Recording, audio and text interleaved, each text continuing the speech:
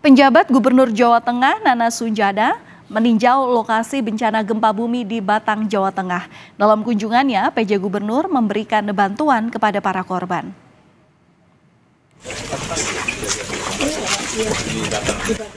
PJ Gubernur Jawa Tengah Nana Sujana didampingi Pangdam 4 Diponegoro Maijen TNI Dedi Suryadi meninjau wilayah terdampak gempa di Desa Kalisalak, Kabupaten Batang.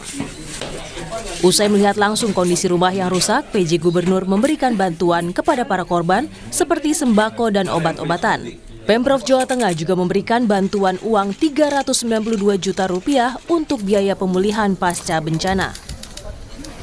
Nantinya, rumah yang rusak mendapat bantuan uang 15 juta rupiah untuk rumah roboh. Sementara rumah rusak ringan, sedang, dan berat akan dibantu perbaikannya. Eh, kami saat ini uh, juga memberikan bantuan kepada masyarakat itu dalam bentuk apa? Bentuk uh, sembako ya. Apa itu beras beserta apa namanya kebutuhan-kebutuhan masyarakat yang lain gitu.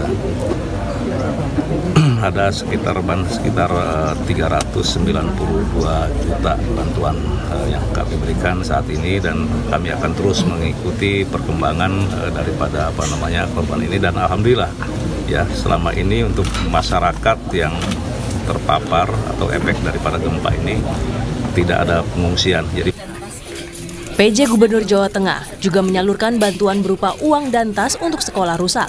Gempa magnitudo 4,4 terjadi Minggu 7 Juli di Kabupaten Batang dengan kedalaman 6 km. Dari data BPBD, saat ini jumlah rumah yang mengalami kerusakan mencapai 200 unit. Gempa juga merusak fasilitas perkantoran, sekolah, dan tempat ibadah dengan sembilan orang luka kini dirawat jalan. Ari Himawan, Kompas TV, Batang, Jawa Tengah.